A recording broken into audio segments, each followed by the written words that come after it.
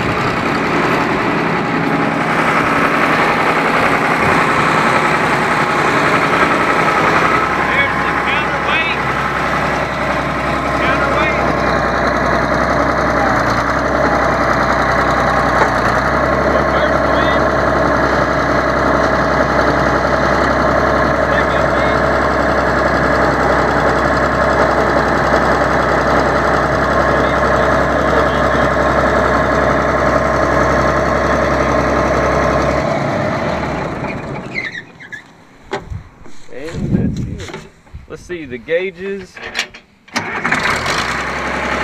All the gauges.